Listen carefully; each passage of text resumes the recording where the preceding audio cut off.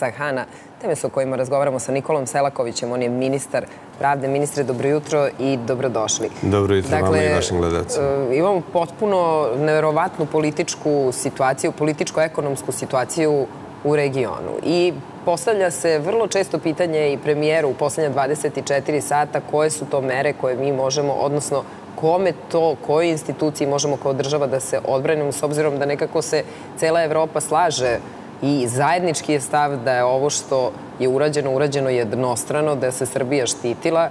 E zašto nas sad niko ne zaštiti? Dakle, pitam vas kao pravnika, kako da se zaštitimo ako smo u pravu? U ovoj situaciji Srbija je u onome što je najbrže vidljivo i najefektnije prepuštena da se štiti sama.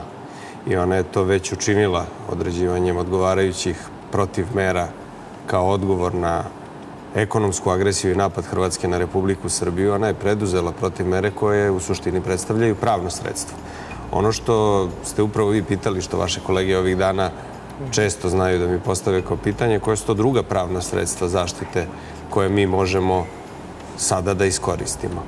Ona nisu toliko brojne i ona nisu toliko efikasna u smislu da brzo mogu da dovedu do rezultata. Prva stvar, Hrvatska kao članica zemlja Evropske unije jeste zemlja koja je svojim ulaskom u Evropsku uniju, koji je bio nakon našeg potpisivanja sporazuma o stabilizaciji i pridruživanju, pristupila tom sporazumu i ona je takođe obavezana sporazumom stabilizaciji i pridruživanju Srbije i Evropskoj uniji od 2008. godine. Taj sporazum je jednostranim aktima Hrvatske prekršen nama stoji na raspolaganju i o tome sam nekoliko puta i govorio u javnosti, da se obratimo Savetu za stabilizaciju i pridruživanje, dakle to je zajedničko koordinacijono telo Srbije i Evropske unije koje bi razmatralo ovu povredu. Kada je u pitanju reagovanje u pravnom smislu na ono što se dešava recimo srpskim prevoznicima, srpskim izvoznicima, ljudima koji u 16 km dugoj koloni sada čekaju na graničnom prelazu Batrovci sa naše strane, Već ste razgovarali sa ljudima iz Ministarstva privrede, sa ljudima iz e, Privredne komore. To je na samim privrednicima, dakle na samim pravnim licima, kompanijama da pokrenu određena, određena sredstva zaštite. Da li je to Evropski sud, u, odnosno sud Evropske unije u Luksemburgu, jedna je od mogućnosti, ali su to sredstva koje su u vremenu neuporedivo sporija nego što se očekuje da, da to kod nas. Ali vratit ćemo se na tu temu. Mene interesuje, dakle, da li je moguće da kada potpišete neki sporazum, kao što smo mi potpisali sa Evropskom unijom pre nego što je Hrvatska ušla. I ako se to ne poštuje, da li je moguće da ne postoji e, mogućnost da mi se žalimo, obratimo, upozorimo, tužimo, kako god nazovite... Upravo to postoji, to sam ja i naveo. Dakle, mi se obraćamo Savetu za stabilizaciju i pridruživanje i to je jedino pravno sredstvo, jedina pravna mogućnost. Da, ali šta je problem u sporom sistemu? Ne, ne, ako hoćete jedan detalj konkretno iz SSP-a. Dakle, zanimljivo je da je mnogo efikasnije pravno sredstvo zaštite predviđeno kada je reč o zaustavljanju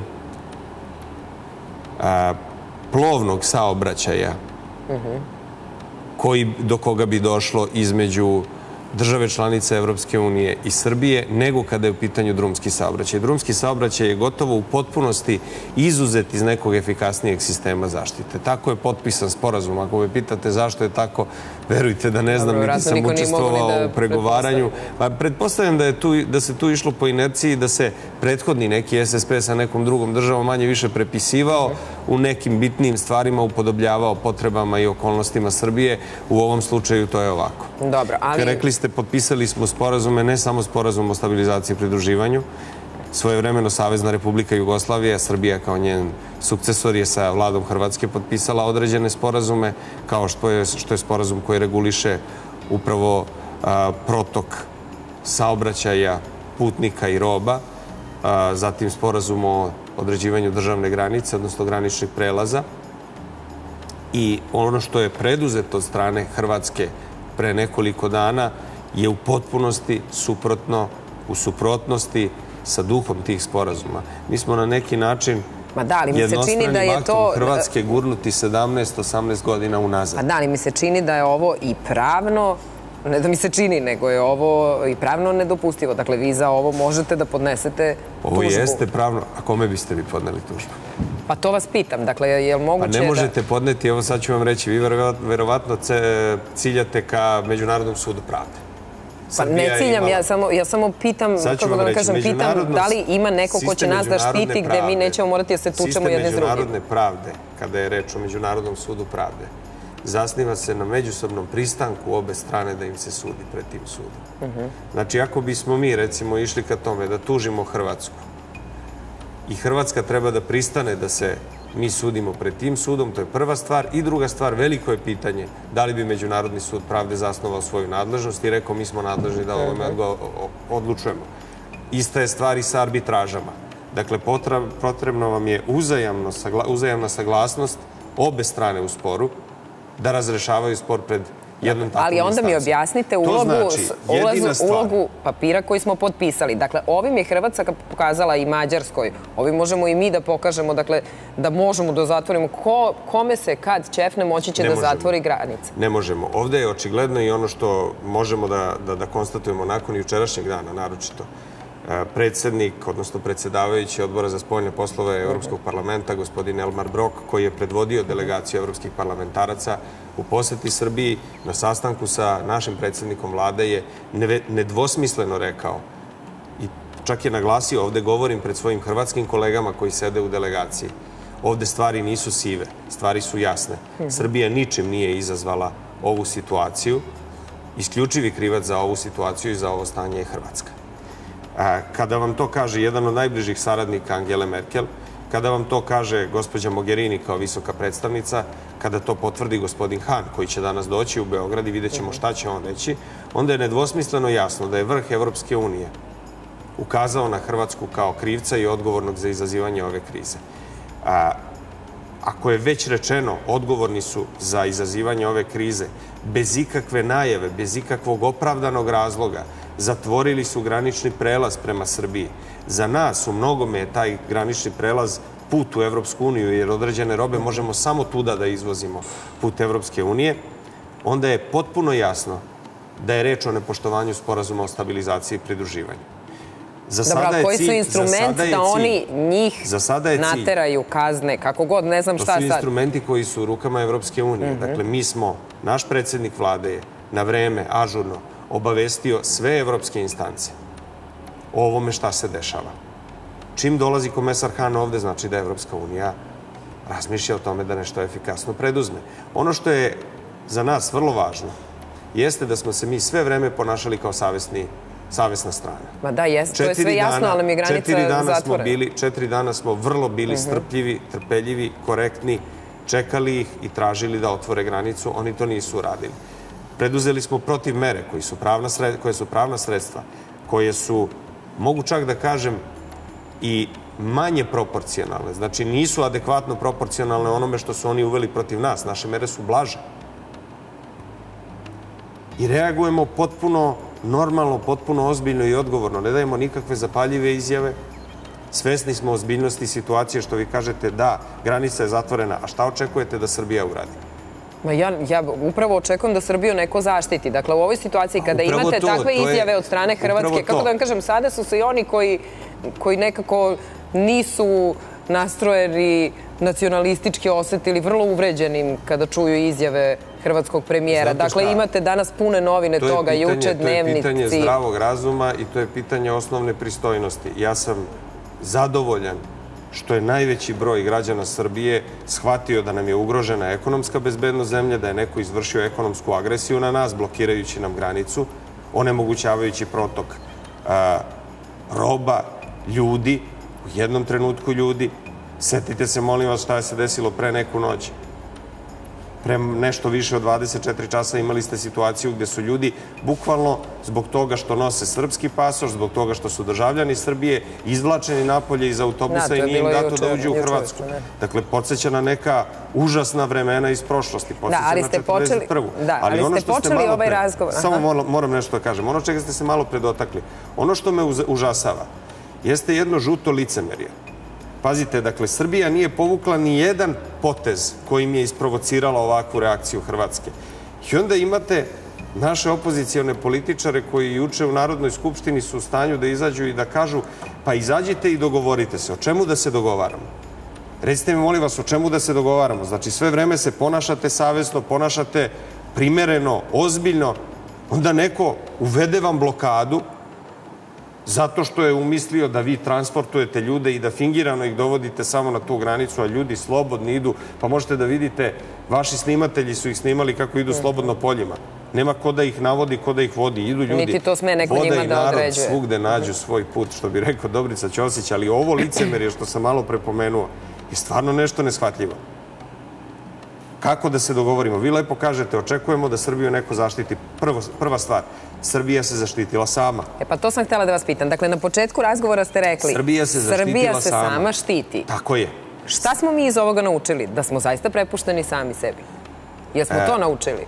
Ja bih, Hoćemo li se vratiti na onaj period nešto od drugo. Srbi su, 25 odavno? Srbi su odavno naučili da su u mnogim stvarima prepušteni samim sebi. Tamo gde nisu naučili, prolazili su loše. Znači, nemamo mi pravo da se nadamo ni koga, najviše u svoje kapacitete, Dakle, svoje nas snage i trenutno same niko ne sebe. štiti. Ili nas ipak neko štiti, ono što ili nas ipak najviše štiti, ono što nas najviše štiti jeste naša ozbiljnost, jeste naša odgovornost kao države i državnog rukovodstva u postupanju u ovakvoj situaciji.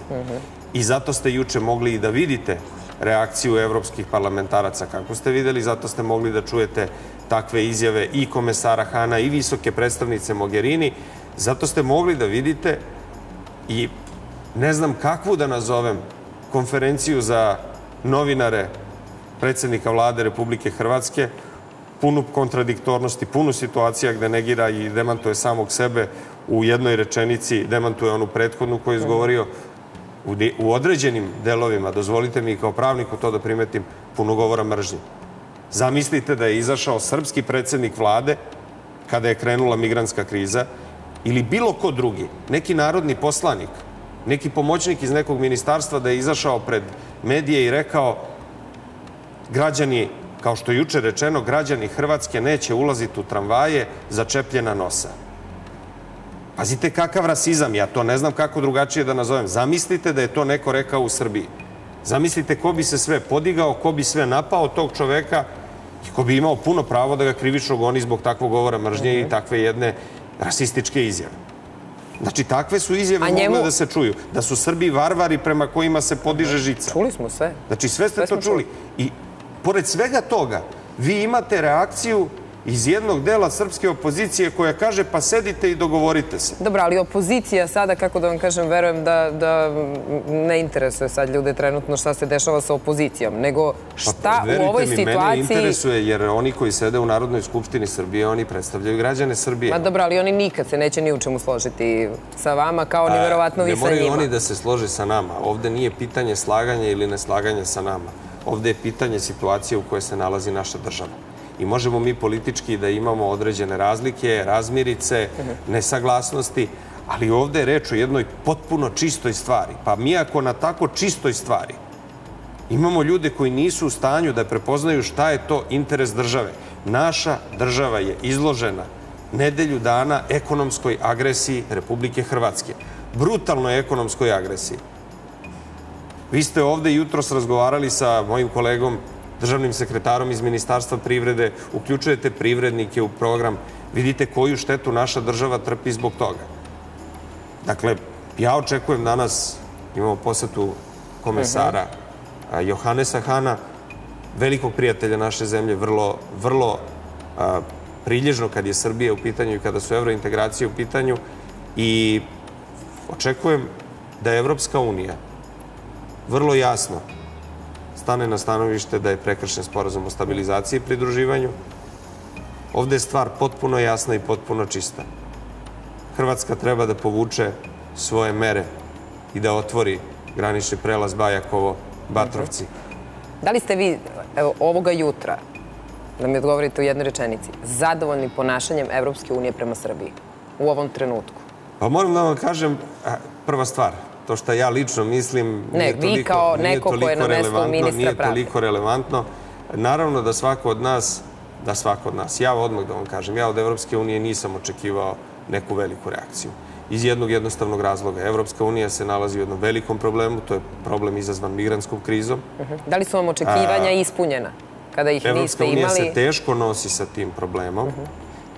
I kada dođe izjava iz Evropske unije, kakva je stigla juče od bliskog saradnika Saveznog kancelara Nemačke gospođe Merkel, meni je potpuno jasno na kojoj strani je Evropska unija. A ta izjava koja je juče došla, koja je više nego dragocena, koja je rečena u Beogradu, pred dva hrvatska parlamentarca, znači, onaj ko nosi ključeve Evropske unije nema problema da kaže istinu i da kaže ovo je crno, ovo je belo, Hrvatska je kriva, Srbija ničim ovo nije izazvala. Ovo je potpuno jasan stav. Ja očekujem da će se u narednim danima ova kriza razrešiti, ali nam ona pokazuje koliko se nešto u šta ulažemo mnogo, u šta predsednik vlade, gospodin Vučić, ulaže svaki atom svoje snage od kad je na mestu predsednika vlade, a to je, pored svih unutrašnjih reformi, građanje jednog stabilnog odnosa među državama u regionu, regionalne stabilnosti, političke stabilnosti bez kojeg nema, bez koje nema ekonomskog napretka, koliko se to lako ruši i koliko je to krhko. Da, hvala vam mnogo na gostovanju i verujem da imate dosta posla, pogotovo danas.